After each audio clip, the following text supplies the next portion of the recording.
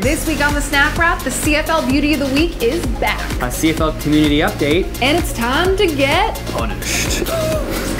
yeah.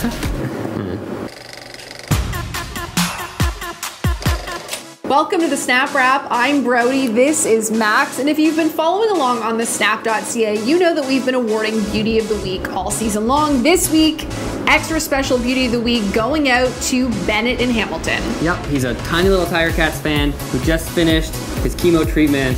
We're super jacked up for him. He's got a cool hat and the shades. Yep. So Tiger Town is definitely lucky to have a fan like him. Oskee Wee Wee Bennett. All across Canada, CFL teams are super active in the community. Whether it's after practice or on their free time, players, coaches are all taking time to be with the community. And this week, we wanted to highlight the Ottawa Redblacks. Last week, they spent some time with the kids from Camp Quality. A group of the kiddos got to go hang out with the Redblacks. They threw the football with Trevor Harris. Moten Hopkins was there. They got a tour of the locker room.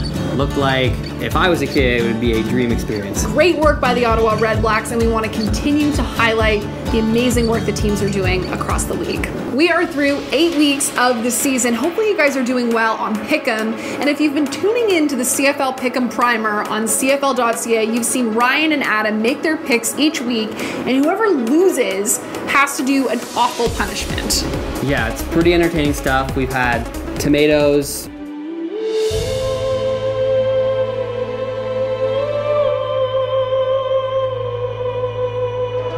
the cake being thrown, but not the whole cake, the pieces of a cake.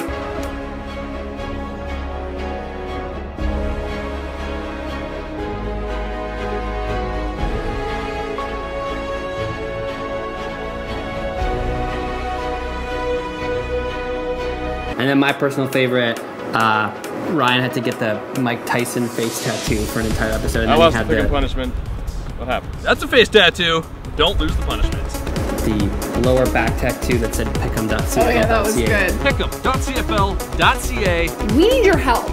We think these guys should step up their punishments a little bit. So, comment in the section below.